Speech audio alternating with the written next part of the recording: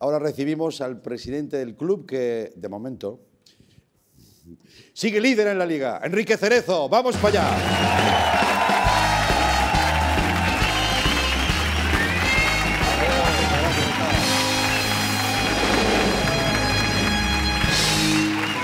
Muchas gracias. Enrique, Buenas gracias por noches. venir. ¿eh? Gracias a Te vosotros. agradezco mucho en esta fase de lanzamiento de programa que nos eches una mano y te pases un ratico por aquí. Oye, bonito decorado, ¿eh? ¿Te gusta? Precioso. eh? Lo he hecho yo el fin de semana. Ya, ya. O sea, ya. me lo han dicho. Yo y unos matrimonios nos hemos juntado aquí con cuatro tablones. Anda que no hay trabajo aquí. Bueno, bueno, no sé si es más difícil esto o presidir un equipo de fútbol de primera división. A ver, Seguro que esto. ¿sí? Seguro que esto. ¿No es tan complicado el otro o qué? Bueno, todo es complicado en esta vida. Sí. Y en los tiempos que vivimos más. Sí, ¿eh? Bueno, le tenemos que felicitar. tenemos que- Aunque vas a notar un poquito de sorna por mi parte, ya sabes que yo soy culé, pero un culé moderado también, ¿sabes? Puedo tolerar a- a cosas. Oye, nosotros, nosotros a- al aficionado del Barça le tenemos un gran cariño y un gran respeto porque hace dos temporadas ganamos la liga en el Nou Camp Sí. y nos trataron como si fuésemos el Barcelona. Bueno, igual también una sensación que tuviste tú también, ¿no? No, no, no, no, no, no. no. ¿Tú no? No, hay simpatía, simpatía, simpatía. Hay simpatía. Claro que sí.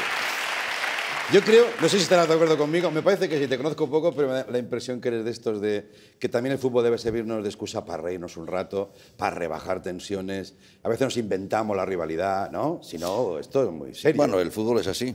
Sí, el fútbol es así. ¿Cómo es el fútbol? A ver, que alguien- por favor, que alguien lo explique ya.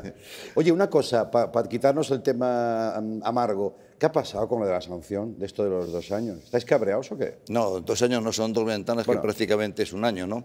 No, eh, nos han sancionado, que yo creo que es una manera injusta de poder hacer las cosas. Nosotros vamos a recurrir Sí. y a esperar. Ya, pero eso es como, no sé, eh, al Real Madrid también, igual te sienta un poquito menos, peor- menos mal, ¿no? Sabiendo que el tampoco puede, ¿o qué? Mal de muchos, consuelo de tontos. ya, ya, ya. Pero como un poquito eh, una exageración, ¿no? Es como diciendo los clubs, ¿qué os Mira, quieren transmitir con eh, yo creo que esto no está bien reglamentado y al no estar bien reglamentado, pues suceden estas cosas, ¿no? Ya. Yo creo que en el caso del Atlético de Madrid, que es el que conozco, es una sanción injusta.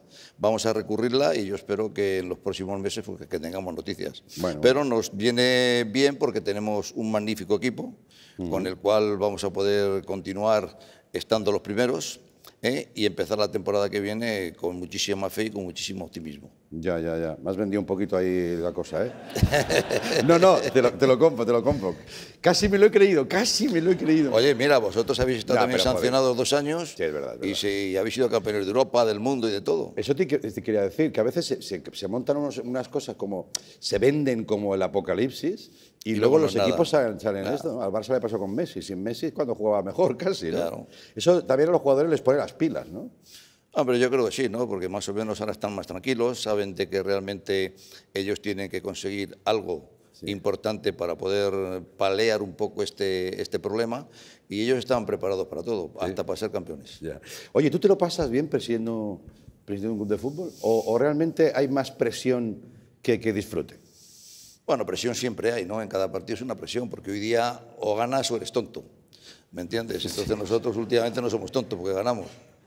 Pero yo creo que realmente hay mucha presión y sobre todo hay, hay partidos que realmente son importantes y que realmente la presión no la demuestras por fuera, pero la llevas por dentro. Sí, ¿no? Y cada semana, y cada semana, y cada eliminatoria. Yo, Bueno, te- os un poquito, ¿eh? Esto no es como el cine. En el cine estrenas la película y te examinas una vez. Aquí te examinas todos los sábados o Ya, todos los ya, ya. domingos. Bueno, tú tienes los dos, los dos campos y quiero hablar un poquito de los dos, porque eh, yo creo que debe ser el único caso, ¿no? De productor-presidente, cine-fútbol. Yo no conozco otro. No hay ninguno más, ¿no? No conozco otro. Y, y no, sé, eh, no sé cómo los compaginas, cómo, cómo los llevas. ¿Dónde te lo pasas mejor? Pues levantándote muy pronto y acostándote muy tarde. sí, ¿eh? No, me lo paso bien en los dos. Además, creo que tengo la suerte que las dos cosas que más me gustan pues son las que he conseguido hacer. Ya, que ya, no es fácil, ¿eh? Ya, ya, ya. Y encima vivir. Y encima vivir, vivir bien. Y vivir. Bueno. Bueno, Vivir bien. bien no. Vamos a definir Te voy a decir la verdad, muy bien. Muy bien. Ahora me ha gustado, Enrique. Ahora me ha gustado. ¿Me entiendes? Me ha gustado. Eh, qué lástima. En estos programas nunca hay tiempo para, para, para, profundizar un poquito y tal, pero también tu historia es muy bonita, de, de, de arranque, del, del, chaval que va recogiendo ahí las, las copias, ¿no? ¿Esa leyenda, ¿eso, ¿eso, es cierto? No, esa leyenda no es cierta. La verdadera leyenda es que yo hace ya muchísimos años, que casi ni me acuerdo, sí. eh, cuando uno acaba ya el preuniversitario, que entonces había preuniversitario, no como ahora que hay la LOSE o la LOGE, no sé cómo se llama, eh, entonces uno tiene que decidir qué va a hacer en la vida, ¿no? Entonces yo mm, pensaba que lo que me gustaba era el cine, sí. entonces entré de aprendiz a trabajar en un plato como este, no Sí. con tanto lujo, pero bueno, en un plato como este. Plato de cine. Y de plato de cine, en Sevilla Film, que están aquí en Madrid, ahí por la Plaza del Perú, que ya no están, que ahora hay un supermercado. Y entonces, eh, la primera película que yo hice se llama Un millón en la basura, que es una película preciosa, dirigida por un gran director, con un casting fantástico desde López Baje, Juanjo Menéndez, todos, estaban todos allí. Y la verdad que me gustó tanto que dije, pues yo tengo que continuar en esto. ¿Pero qué hacías en esa peli, perdona? ¿eh? De, de, de yo entré casi, de, aprendiz o de meritorio, que entonces se llamaban meritorios, Meritorios, sí. de cámara. Ah, fíjate. Y durante muchos años fui ayudante de cámara de muchísimas películas y además importantes películas. ¿eh? Sí, sí, sí. Y dijiste, aquí me quedo, ¿no? Luego ya vino el tema del vídeo, de la producción, y entonces ya me cambié un poco de, de profesión y dentro del mismo concepto de lo que era el cine, me dediqué a la producción y a la distribución. Ya, ya, ya, ya. Bueno, y ibas compaginando con fútbol. Por cierto, te quiero felicitar por Mi Gran Noche, de las de la Iglesia. Tú estás Gran por ahí. película y divertidísima película. Buena película, con Mario Casas premiado también en los Feroz, vamos a ir a los Goya, todo eso. O sea, tú vas a los Goya, a las galas FIFA, tú estás en todos lados, Enrique. Ya te digo que vivo muy bien. Es que, es que, bueno, yo no sé si muy bien, pero debes llevar una agenda de locos, ¿no? Pues es una agenda muy complicada, ¿no? Pero bueno, también es muy agradable, ¿no? Porque conoces a mucha gente, ves a mucha gente, estás siempre bien vestido, con buen traje, con bien comido. Bien Está comido. muy bien. Sí, sí, sí. Corte de pelo, bueno, me gusta tu corte de pelo. Me tienes que pasar ese peluquero. Sí, sí. Pues te lo hago yo. ¿Te lo haces tú? No, no, no, no, no, no, no, no, no. no. Un... Aunque te digo una cosa, una imagen de más, eh, ¿cómo te lo diría?, de, de fraternidad en el fútbol que un, un colchonero afe- afeitando un culé, sin, sin lecturas, ¿eh? No Ah, quiero secundar lectura, lecturas. ¿eh? Eso nos coronamos con eso, Enrique. Mira, eh, sabiendo tus dos facetas, ¿tú, tú tenías, eras de, niño de colección de cromos? Sí, claro, ¿Fuiste? por supuesto que sí. ¿Sí? ¿Te acuerdas de alguna colección de aquella? Pues me acuerdo de todas. Sí, Hasta ¿eh? de carteles de cine había en aquella época. Claro, claro, claro, claro, de esas estampitas, ¿no? Que daban. Esas estampitas. Pues mira, hemos querido hacer una colección, luego te regalo el álbum, que se llama Cine y Fútbol, que me parece que no es mala idea. Cuidado que tenemos nosotros la, la idea primero, ¿eh? Donde vamos a comparar los dos campos con preguntas. Por ejemplo, la primera, y hay cromos, ¿eh? Hay cromos, cromo gordos. ¿Qué negocio es mejor, el del cine o el del fútbol? Los dos cerezos. Bueno, yo te diría en- así en confianza Sí. que ninguno de los dos es buen negocio. Ninguno de los dos. Pero realmente el negocio mío el- al que me dedico es al cine. Al cine. Vale, vale. Pero no muy bueno no es, ¿no? Nos tiene un poquito cosiditos. Bueno, ¿eh? ahora la gente va poco al cine, que hay que ir al cine, que hay películas fantásticas y maravillosas. Sí. Y además, en contra de lo que dice la gente, es barato, porque por 7 euros te pasas dos horas Sí. sin tomarte nada, nada más que viendo la película. ¿eh? Y, Eso es verdad, eso es verdad. Bueno, bueno, oye, mm, ¿sabes que he hecho una película yo que estrenamos con Berto? Bueno, yo no la he hecho, yo salgo, ya venía hecha, ya me entiendes. Con Berto Romero, una comedia en marzo. ¿Ah, sí? Sí, El Pregón se llama. Qué raro que no hayas producido tú. no, que no puedo estar en todo. Claro, claro. pues- No puedo estar en todo. Me ha gustado eso también. Bueno, a ver, esta. ¿Quién tiene más poder? eh, ¿Un director de cine o un entrenador? Los dos casos son buenos, ¿eh?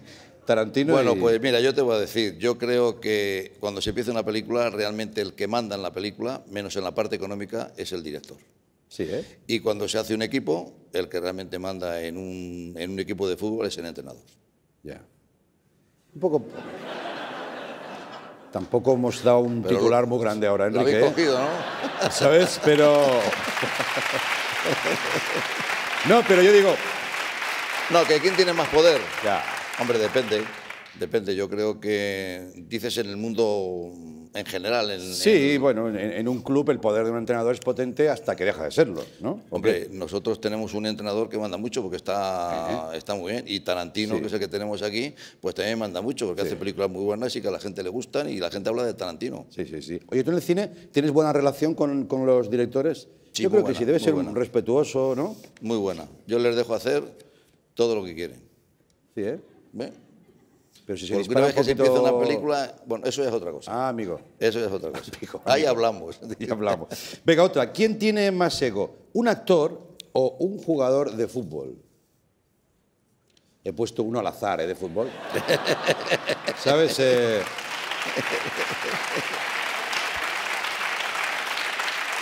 Cuidado, que estamos ya conf- casi confundiéndose, léase, confundir los dos campos. Actualmente los- las estrellas del fútbol ya casi son estrellas mundiales como, como actores, ¿no? Bueno, yo creo que el ego no va en si eres actor, eres director, eres eh, futbolista. Yo creo que el ego lo lleva la persona, ¿no? El que nace con ego, pues lo va a tener siempre. Y el que no nace con ego, pues no lo va a tener nunca.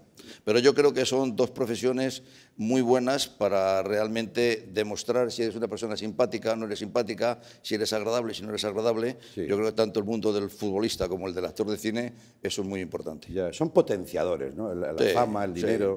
Dinero. Entonces, y si el No, es pero la verdad que lo hacen muy bien, ¿eh? porque normalmente eh, son gente muy amable, son gente que les paras, se hacen fotos, te firman autógrafos, y eso realmente pues hay gente que no le gusta. Y sin embargo Ya. a los futbolistas, pues normalmente porque ya lo llevan dentro de sí los actores, pues tienen que pararse y tienen que hacerse la foto. ¿Te llevas bien tú con las estrellas de- del equipo? Yo muy bien. ¿Sí? Muy bien, Cuando hay que dar un toque, ¿será bien Es que nosotros este año en nuestro equipo tenemos, el- yo lo digo siempre y me van a perdonar que distraiga un poquito esta conversación, Mm. son gente fantástica. Los futbolistas del Atlético de Madrid es una generación que de verdad yo en 30 años que llevo en el Atlético de Madrid te puedo decir que nunca haya visto esa unión, esa sencillez, ese buen hacer que tienen el vestuario del Atlético de Madrid. No encuentras uno malo. Pues te felicito, te felicito por esto. Claro que sí. Muy bien, la última. Eh, ¿Quién tiene más influencia, los críticos de cine o la prensa deportiva? Pues te voy a ser sincero, la prensa deportiva. Y mira que Bollero es amigo mío, ¿eh? Sí. Y mira que Claro, buen crítico de cine, campos, ¿eh? claro. claro. Sí, sí. Y sin embargo yo creo que la prensa deportiva tiene más fuerza por una razón, porque llevan más gente al fútbol que la Sí. prensa de cine lleva más gente al cine. Un campo de fútbol de 50.000 personas lo llenas en dos horas y llenar salas por 50.000 personas tardas meses. Pues es verdad, es verdad. Pero realmente tienen tanta, tanta importancia, tanta fuerza. O sea, os necesitan. Esto es un binomio, ¿no? No, pero la verdad que tiene mucho más fuerza para mí la prensa deportiva en relación con el género que tratan Ya, ya, ya, que la prensa de cine. Bueno, ¿te llevas bien con la prensa deportiva? Sí. Sí, muy bien, fenomenal. No tienes nadie que te tenga ahí ojeriza. Nada, nada, al contrario. ¿Seguro? Al contrario. Mira que están las De momento saben escribir. De momento saben escribir, madre mía. Pues te voy a regalar este álbum, Y además lo voy a guardar con cariño. De verdad. Y nosotros también te lo tenemos. Me acuerdo cuando hacíamos el programa en Barcelona, cogiste tu avión, te viniste allí. Yo creo que eso es muy bueno, habla bien de, de- de ti. Antes tenías a una persona que era muy bajito, que estaba siempre dando vueltas por el plató. Eh, ¿Lo despediste o...? Eh, era, tan, era tan bajito que yo no, no lo vi, no lo vi. No, lo vi. No sé de quién me estás hablando, Enrique. Oye, que uno que sentaba mucho. a tu lado, uno que sentaba a tu lado. Que disfruten muchísimo la- lo que te queda de liga y ya cuando quedéis segundos, pues no te lo tomes mal tampoco. No, Porque la vida pues te pone en tu sitio tarde o temprano. nosotros, sabes tú que primeros o segundos vamos a ser igual de felices. Ahí está bien. ¿Eh? Por segundos. Pues ya. Enrique Cerezo, gracias, mucha suerte, amigo. Chao.